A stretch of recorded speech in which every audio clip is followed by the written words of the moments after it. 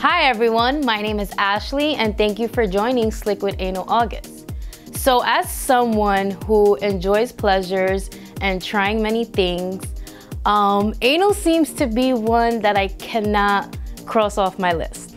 Me and my partner have tried several times, but I've always, uh, no thank you, take it out. So I do enjoy finger play, but I wanna be able to fully be comfortable to try anal and actually go through the full experience of that pleasure. So I gathered some questions and when's a more perfect opportunity than to ask during anal August.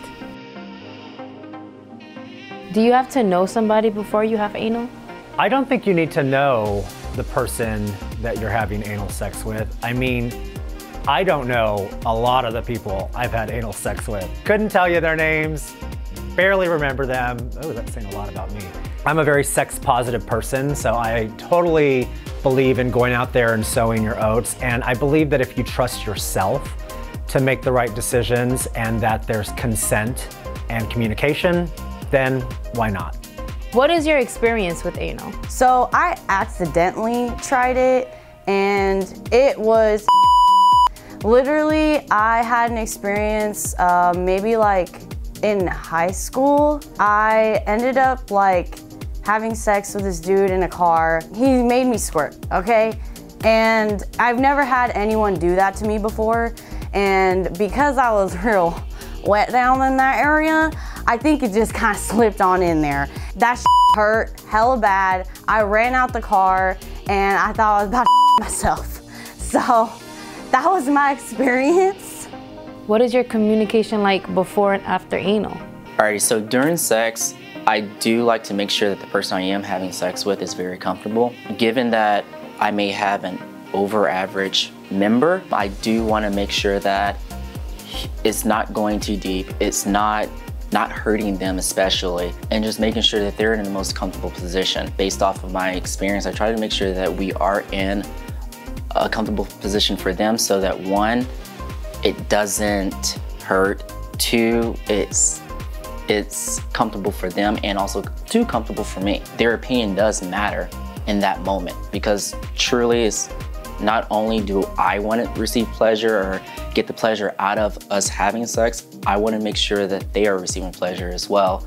Um, because truly one thing I don't want is them to leave the situation and just be like, this was not fun, this was very uncomfortable, and now I'm hurting. When sleeping with someone, do you automatically expect anal? They better no, what else we gonna stick it in? ah, now who's doing who? Now that's a question for, it's not a question, it's a decision by me. Were you trusting during your first experience? As far as my first experience goes, I'm 40 years old, so that was a long time ago, and I couldn't even tell you who it was. Um, but I assumed that I was pretty trusting about anal sex because I had it.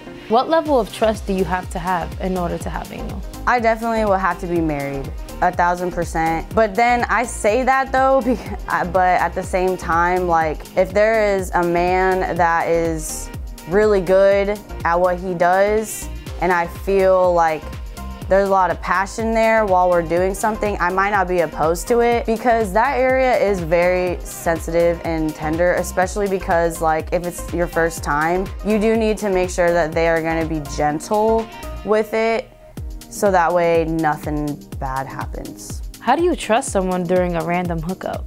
Most of the times when before I even have sex with those guys, they understand what they're going to be walking into. I always um, let them know that one, I I can be gentle. I want you to get warmed up to what is about to happen. I let them know like if if this is not something they want, um, or during the during the intercourse part, if this is not something they want, or they feel like it's hurting too much, they're perfectly fine with just telling me, just and I'll pull out and just and we can just do whatever else they're comfortable with. How does trust and anal correlate to you? I think that the correlation between trust and anal sex um, really stems from the comfort of your sex partner. So, I mean, I've been in a long-term relationship for seven years now. And for us, we've obviously built that trust up. But even to this day, Anal sex is still a whole process and it can even still be painful for my partner. So for me, I think just opening up that line of communication and a lot of foreplay really helps to build or at least re-acknowledge the fact that this is a whole process and we're going to make it pleasurable. I'm going to make it pleasurable for him and vice versa. Trust to me during sex means that you can trust the person is being upfront with you when it comes to status. First of all, the person is being upfront with you and taking care of you, especially if you're the bottom. Make sure your top is taking care of you, okay? And make sure you're not just trying to ram it in there and have a good time, okay? Make sure you're being pleased and know when to stop. Trust in that, meaning that the top knows to stop when you're uncomfortable. And hey, make sure you trust who you laying down with. What anal toys are you interested in? I've never really thought about that, honestly. I mean, I've had some fingers slip on in there, but I've never like had any toys in that area. When you want anal, how do you approach it? Head on. My motto is to be upfront from the beginning. State your intentions. You want to be just say that. In a relationship, just say that. So how I approach it is, I let them know, hey, no disrespect, I wanna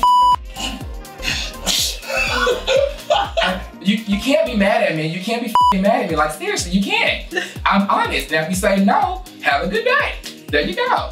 You know, no disrespect. You look real good. You know, I'm trying to slide in that. What's up? Like, that's just, people gotta be more upfront and honest with that because you feel real foolish when you're played. But when somebody comes and says they wanna you wanna you gonna you're gonna feel great. What would you tell your younger self? Um, I would tell younger Eric that um, life is gonna be pretty difficult, but you're gonna have a lot of really good anal sex. So just to keep with it. So I do want to try anal. And after hearing everyone's responses to these questions, I'm gonna speak to my partner, I'm gonna incorporate all these things and we're gonna get trying because it's something that I definitely want to experience and I believe now that I got the right knowledge, I could go on and see what the talk is about.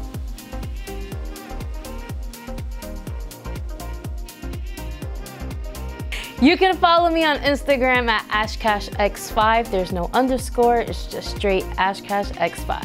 Hey guys, it's King Iconic and this is my anal August questionnaire response. You guys can check me out on YouTube at The King Iconic, all social medias at The King Iconic. Blow me up, have an anal good time. My name's Elise Arias. I was born and raised in Dallas, Texas. My Instagram is Elise, that's E-L-E-S-E dot Gab, G-A-B dot Arias, A-R-I-A-S.